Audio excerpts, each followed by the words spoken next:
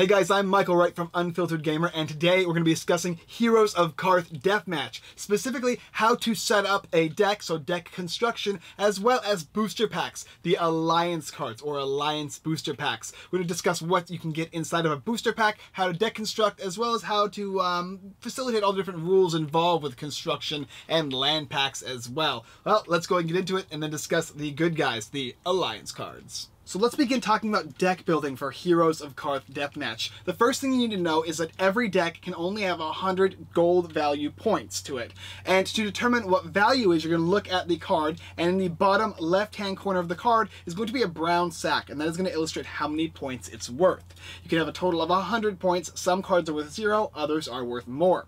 The next thing you need to know is that there are two heroes per deck. You can include two heroes, and those are pretty uh, much illustrated. You can determine them by the what they say on the card specifically, as well as the fact that you can have a total of 45 cards in your deck. That does not include tokens, however. There also follows a 10-10-10 rule. As you know, there are three types of cards in Heroes of Karth Deathmatch that are followed in decks, and that is going to be the spells, the treasure, and the barracks deck. You have to have at least 10 of each of those decks, so 10 cards in each of those decks, and a total of 45 cards overall. You can only have three of the same type of card, much like other games that have a certain amount of maybe four or two. This game is three of each card. However, that is not including tokens or terrain cards. You can include uh, factions that are allied to each other, so any allies cards can go with each other. However, factions alone do not mix. You can't mix two of this uh, two different types of factions and allies can mix as much as they would like. Neutrals can be added to any deck, as well as mercenaries. They do not count towards either one.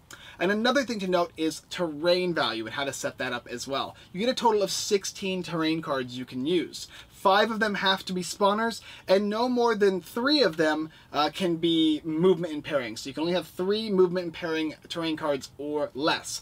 Also, you have to check to see on all the cards the value of them because they all have to be 100 uh, under 100 points together for those 45 cards. And even the tokens can potentially have uh, some value on them as well. So that is the basic idea for deck construction. You'll have three total decks, including a terrain deck, and then a side pile of tokens that could or may or may not include the value of cards. That's the basic idea for how to set up a deck for Heroes of Karth. You can choose to use the Bane starter deck if you'd like, or create your own, and that will work either way as well as mix and matching. Let's go ahead and show you what you'll get in the different starter decks as well as the terrain pack. So now we've come down to the contents of what you'll get depending on what you're going to purchase. We'll go ahead and talk about these individually, and these will come up and discuss individually as well, depending on which video you're watching. All right, so let's go ahead and show a basic deck. This is a starter deck you would be getting, and it ranges from about 15 to $17 on GameCrafter. It depends on your region, I think. You're going to get in a starter deck, you're going to receive 16 terrain cards and 45 uh, deck, including any tokens that deck might need. So as you can see here, this deck is going to come with all of these tokens as well. In each of the decks, you're going to be receiving the barracks cards, quite a lot of them. Let's see how far. And then you're going to get your spell book cards. And then you're going to get your treasury cards here. The base deck's going to be different for each. Uh, each train, uh, train, land cards, whatever, going to be different for each deck you buy. And these are the ones for this one specifically. And they have their own unique different lands for each deck as well, which is kind of nice. The tokens will also be representative of the deck. And then in the barracks, you're also going to get some heroes as well. So just like any other starter deck, you're going to see some really cool ones, and they have their own unique names on them. This one here, you've got Leanne Ehrlich, and this one here is Medivh Tan, and then this is an Elf Lord. So I think here's the two heroes right here per deck. So this is what you're mainly going to be getting for each starter deck. And it's going to come with everything one player needs. However, if you want any of these tokens here or the dice, that's separate. Or if you'd like, you can also choose to take out your tablet or your mobile device Let's see if I can, ooh, I'm showing you my password, M for Michael. And then you can go ahead and start using this if you'd like. And you don't need any of the dice or anything. All right, so next we're gonna go ahead and discuss a terrain pack. And it'll come in a bag that's either green or purple.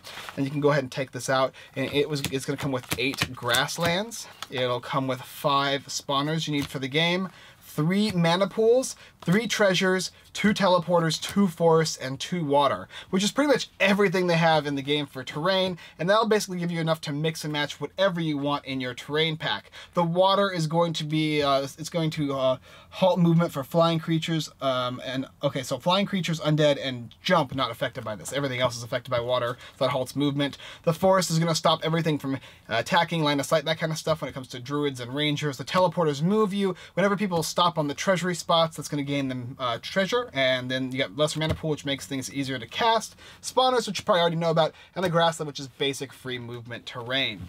All right, so let's go ahead and talk about what would be in a booster pack now or a shard pack, uh, shard or an alliance pack. First of all, you get for it's roughly like I think it's like five to seven dollars, and it's 18 cards. You're gonna get a box. You're going to get one hero card or a level five four card.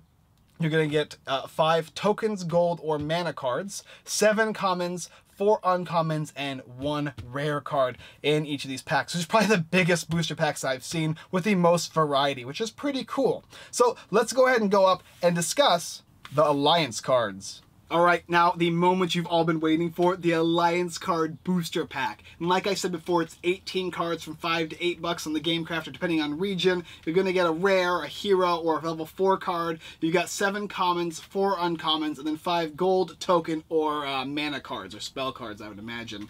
When, when you open these packs up, you're simply going to turn over the backside like that, pop it open nice and easy, and it is reusable, which is cool. And flip and flip, and you can go and set aside, and this is going to be your pack of cards right here.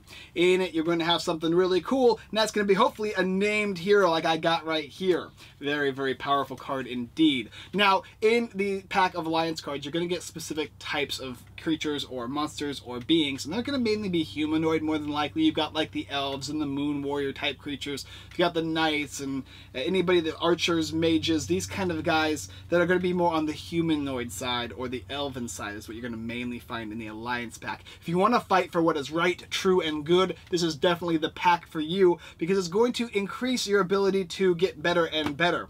You've got like ranger decks here, you can add and manipulate the cards in them and change up the deck. And like I was saying before, the bottom left-hand corner tells you how many uh, levels, how many uh, coin values it's worth, and you can insert that into your own deck that you would get like a starter deck. I think I would recommend a starter deck that is in a, of course, the Alliance starter deck along with an Alliance booster pack or two to mix it up so you can kind of increase your uh, playability with the deck and make it even stronger than it normally is.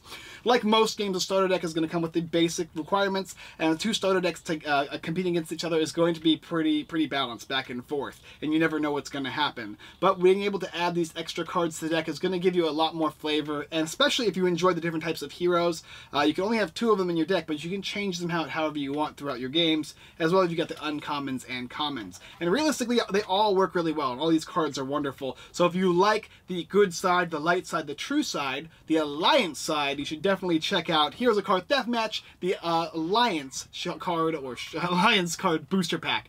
So there you have it, the Shard or Alliance booster pack, depending on which video you're watching. And as you can see, here they are. Now the question really is, are you good or are you bad? Which side would you choose, Shard or Alliance?